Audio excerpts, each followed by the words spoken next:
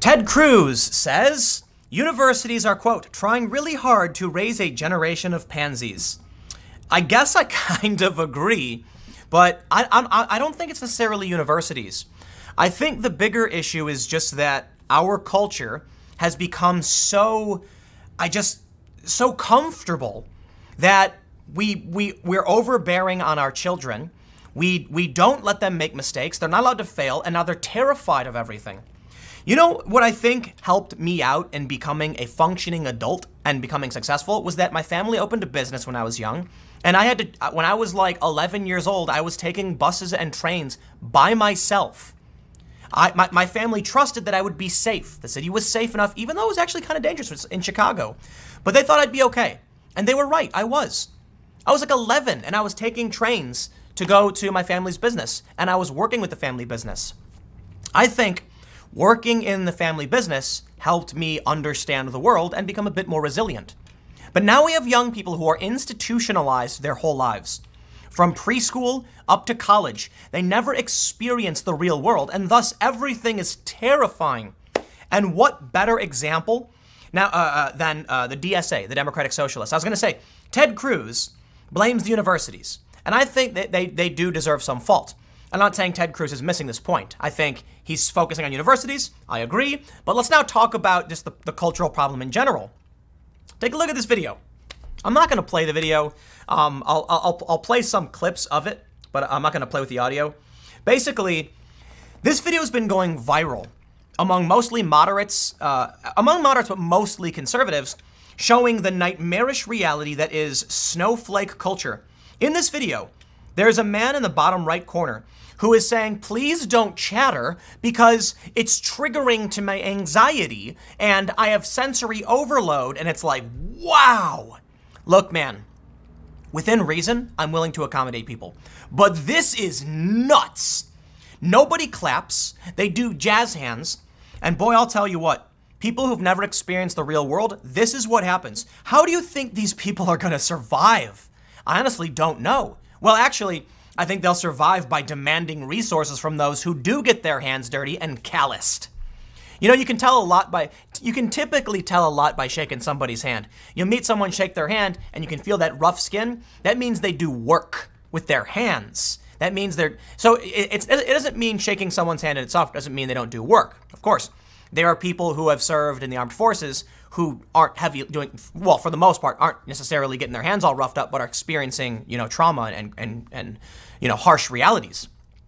But there are a lot of people who have never done a hard day's work in their life who claim to advocate for working class people. Like these people the democratic socialists of america. The epitome of wealth and privilege. Overwhelmingly white americans one of the, the wealthiest nation, uh, wealthiest nations on the planet, if not the wealthiest nation, complaining about the whispering in the room, and the, and then someone else complains that the, that the guy said the word guys. Don't use gendered language, and I kid you not, it sounds like a South Park sketch. Like it's like it's, it sounds like an episode of South Park where you have like heavy labored breathing. Stop using gendered language. Ah! Like that's what South Park does. I'm not, I'm not trying to be mean to, to any individual. You can't actually see any individuals. People are going to get mad at me. But no, no, no, listen. Growing up, I've experienced hardship, okay? My positions on policy are not based on emotion, they're based on cooperative solutions. I think, you know, in my opinion, there are very few people who hold, uh, who are in the political space that I am, who have a true understanding of the politics. I can have a reasonable disagreement with conservatives, but I can talk about facts ethics, reason, and I can empathize. What, what we see here, and I'll read the story from Ted Cruz, is a generation of young people who are like, it, you ever see Wall-E? Okay, in in the future, all the humans are floating around. They're over, they're overweight. Their skeletons are, are crumbling, and they're and they're just on chairs, and they're all just like massive and fat. And that's where we really are heading. These people are saying, "I'm getting triggered by whispering." The original, like, triggering, it's a real thing. It was meant to, uh, uh, it was typically used, at least as my understanding, refer to people who came back from war, and when a car backfired, they'd have a panic attack. That's triggering. Because the car backfiring sounds like a grenade or explosion of some sort, and it makes them like, ah. I've had some similar uh, jumpy reactions to like cars backfiring because I've been in conflict zones. Not necessarily war zones, but urban conflict, police action with live gunfire. I've been shot at live gunfire. And so there have been a few times the car's backfired and it's like, woo, boom, adrenaline to 100. But it doesn't get it doesn't put me in a, a debilitating state. Some people experience like panic attacks where they fall down, they can't breathe. That's triggering. People whispering, man. So let's do this. Let's see what Ted Cruz had to say about universities. Before we do, I am going to be, uh, look, go to irl.minds.com, irl.minds.com. We're putting on a live event at the end of this month. Sign up now. Uh, we're trying to do one big push before the event, August 31st. It's in the Philadelphia area. There's going to be a ton of awesome speakers. There are progressives, there are conservatives, there are feminists, anti feminists, there are people across the spectrum. Count Dankula will be there. And um, who, Sargon will be there. And Lauren Chen and Melissa Chen. I don't, I, I'm, they're not related. And uh, Shoe on Head. So there's going to be there's to be people uh, uh, across political spectrum. We have progressives, we have Graham Elwood, Tara Devlin, progressives and feminists. It's going to be great. Come to the event. There's to there, uh, I believe the after party already sold out. So get your tickets now. But uh, let's see what Ted Cruz had to say. Senator Ted Cruz rocked the room at the Young America's Foundation Uh, Foundation National Conservative Student Conference last week, ripping universities and colleges for trying really hard to raise a generation of pansies. Cruz's biting remarks were triggered by the first question after his speech when he conducted a Q&A. A student from uh, Binghamton University got the ball rolling, stated, Hi, Senator Cruz. It's a pleasure to meet you. I compete in parliamentary debates. However, in tournaments, well intentioned but misguided policies about political correctness have been quashing freedom of speech and our free expression of ideas. It is incredibly frustrating, but it seems to be a microcosm of what's going on in our national dialogue. Do you have any prescription of how we can improve our level of discourse at the local and national level to restore the meaningful and important conversations that have been combining to make our democracy as great as it is? What a well spoken and thought out question, young man. Cruz replied, elaborate a little bit on how political correctness is impacting college debate.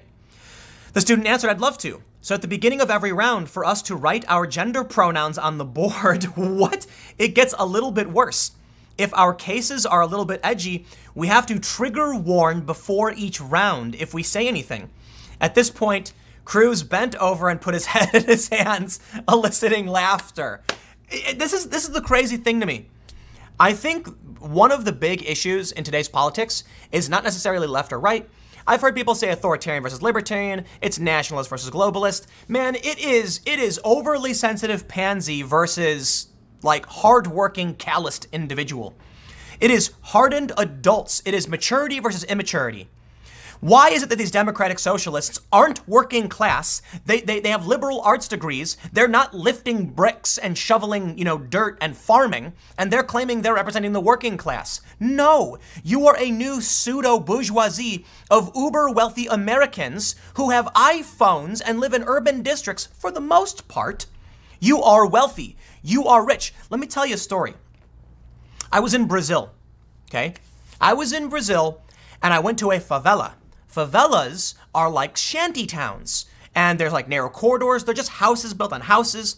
One of the houses I went to, they couldn't flush their toilet because they needed rainwater for water pressure. It hadn't rained, there's a drought. So unfortunately, they all just did their business on top of their family's business, and there was a huge pile, and it was nightmarish.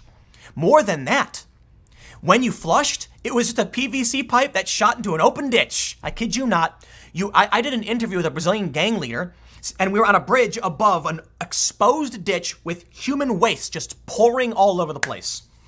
That's that that's being in a slum in in Brazil. And I tell you this story, I highlight how bad it was because the mother said to me through a translator, "Why are the rich people protesting in America?"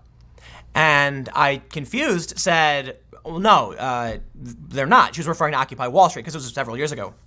And I was like, no, no, it's um, it's like the the, the, the, the poorer younger people are complaining about wealth inequality. And, and then the translator says it, and she laughs and she goes, no, Americans are all rich.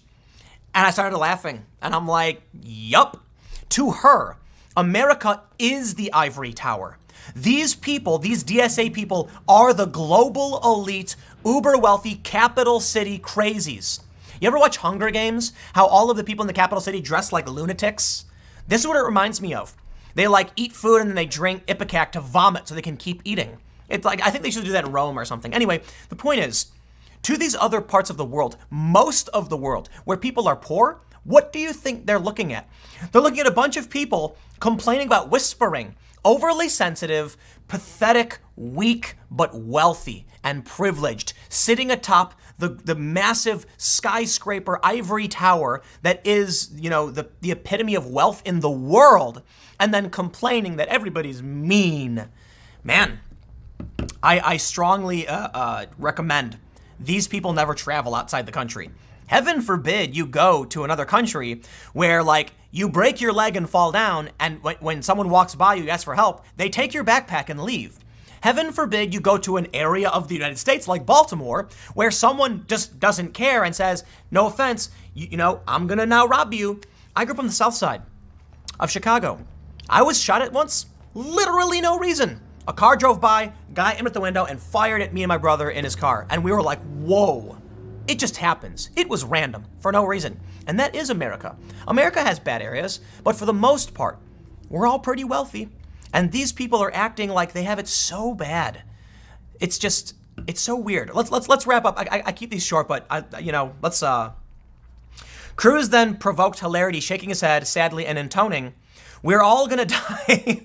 After the laughter and applause subsided, he continued. One of the saddest things we're seeing is our colleges and universities are trying really hard to raise a generation of pansies. What is the sense that you have a right not to be offended? You have a right not to hear ideas that are scary. Look, the entire purpose of university is to hear ideas that are scary. This prompted another ovation. Cruz said, I talked about being a happy warrior, not a daisy wearing daffodil priest. It really is not that frightening. When I went to college, when I went to law school, I was surrounded by leftists. I took classes from Marxists, and by the way, I don't find Marxism just sort of cute and chic. A guy down the hall from me sophomore year in college had a poster of Che Guevara. I remember going into his dorm and saying, hey man, that's really cool, that's so awesome. Have you thought about maybe putting a Hitler next to it? Maybe Mao, Stalin? Listen, if you're gonna celebrate evil, torturing, murdering sons of, of, of bitches, really, Che was an amateur. There are much worse guys to pick from. That brought the house down. Here's the problem. Let me tell you the problem of everything. I'm gonna wrap it all up. I completely agree with Ted Cruz's assessment, and I am not a conservative. There used to be in this country, I mean, there are, they're just, I don't know where they're at, liberals who had who had strength and courage and maturity. And now the left is being dominated by whiny babies who can't handle hearing dangerous ideas.